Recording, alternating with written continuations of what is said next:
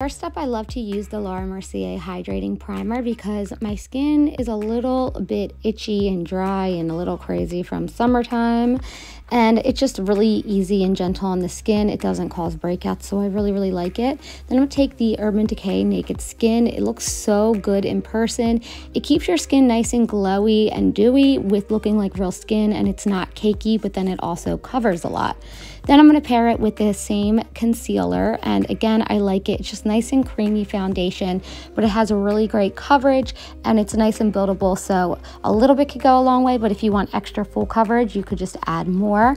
Then I always kind of buff it out with a sponge. That way there's like no lines and it doesn't get crepey and creasy. I picked a lot of products that I thought were good for all ages. And I just feel like if I were a real makeup artist and I was gonna do somebody else's skin that was different than mine, I would use these products.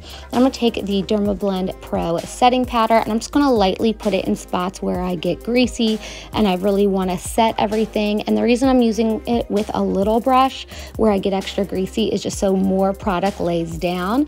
And then I'm just gonna take a looser brush that's bigger and just kind of swipe a little bit all over my face just to set all of that creamy product in place so it you know, stays longer. Then I'm taking this bronzer by Buxom. It's so beautiful. I love the color of it. It just looks nice and fresh without looking too orange or too shimmery or too shiny. Then I'm taking Mykonos Blush by Buxom as well and I'm popping it on my cheeks.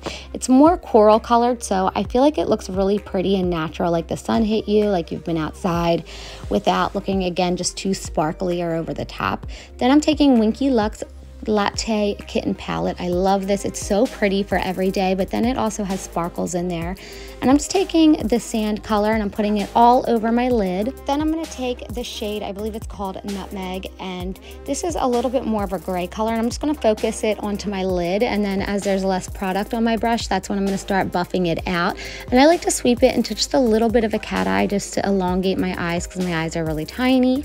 And then I'm gonna take the Winky Lux liner. I love this liner. It's nice and black, and I'm just gonna do a cat eye. It's like my go-to, it's easy. Then I'm taking the Better Than Sex by Too Faced mascara. I love this mascara. I always recommend it to people who are looking for a good mascara and it's like their first time buying a higher end product.